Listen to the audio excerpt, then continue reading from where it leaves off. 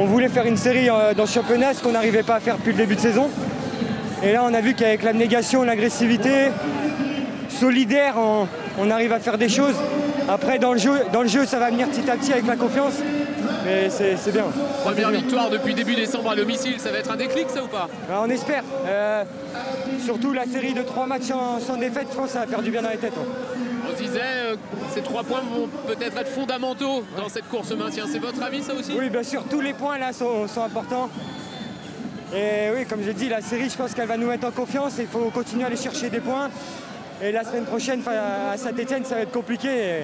J'espère qu'on va revenir avec des points. Est-ce que le match pour le maintien, enfin le, peut-être le match qui va vous maintenir définitivement, ça va être justement ce match à Saint-Etienne la semaine prochaine? Peut-être, peut-être. Ça serait bien, mais là, je pense qu'il y en a encore euh, neuf au travail. Après, ça va être, euh, c'est encore long. c'est vraiment long quand on joue le maintien. Et oui, si on peut aller chercher des points là-bas, ça... vous, allez bien, vous allez bien dormir ce soir? Ouais, très bien une série positive, le compteur tourne et euh, je pense qu'on a fait une bonne opération euh, comptable ce soir. Et donc euh, voilà, maintenant il reste encore beaucoup de matchs avant, le, avant la fin de saison et voilà, l'essentiel c'est d'être dans la position où on est aujourd'hui, fin mai, et, pour ça il y a encore beaucoup de boulot.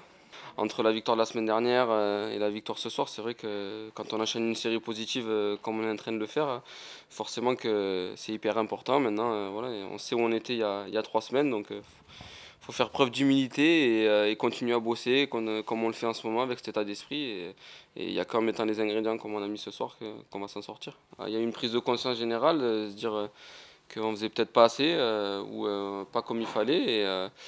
Voilà, quand on voit que ce soit le, match de Marseille ou, le, ou les deux derniers matchs, on est, on est bien, on est bien au niveau football, mais aussi on est bien dans, les têtes, au niveau mental, où, on s'arrache euh, et, ça fait plaisir à voir. Avec un état d'esprit comme ça, oui, on, peut, on, va s'en sortir, j'en suis, suis convaincu, mais encore une fois, il faut le, faut le mettre à chaque match, il ne faut jamais, jamais faire preuve de suffisance, et, euh, voilà, c'est ce qu'on doit combattre nous au quotidien euh, là-dessus. Ça faisait quasiment deux mois, donc c'est vrai que c'est long, et ouais, j'avais qu'une hâte, c'était retrouver, retrouver mes coéquipiers pour, pour essayer de, de les aider du mieux, du mieux que je peux. Quand on n'a pas joué depuis deux mois, on ne fait pas la fine bouche. Hein, donc, euh, donc voilà, j'étais très content de, de, rejouer ce soir et voilà, j'ai essayé de donner le maximum pour, pour qu'on aille chercher cette victoire tous ensemble.